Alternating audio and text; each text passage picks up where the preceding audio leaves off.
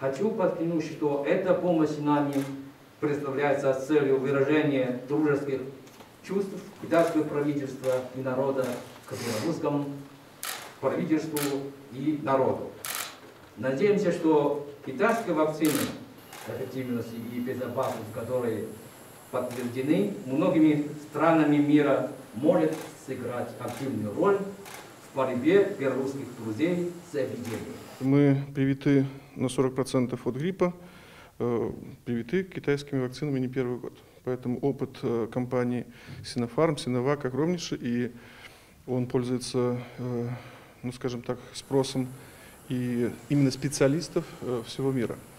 Это первый компонент. Второй – это живая инактивированная вакцина, и это имеет свой эффект.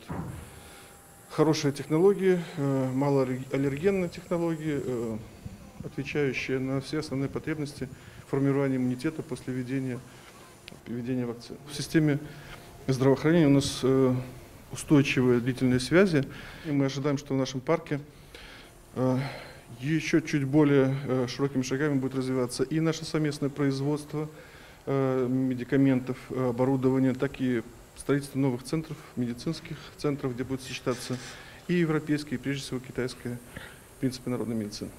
Мы не определяем категории населения, которые бы э, получали ну, ту или иную вакцину. Вопрос э, очередности. То есть сейчас мы почти закончили с медицинскими работниками, переходим на вакцинацию социальных работников, э, системы образования, поэтому, наверное, исходя из того, как встроится, мы на две недели, э, как все вакцинные препараты, прибывающие в страну, идут на контроль. У нас э, достаточно жестко в этом отношении, не имеющее значения, Pfizer приходит, или там собственные вакцины, или какие-то еще.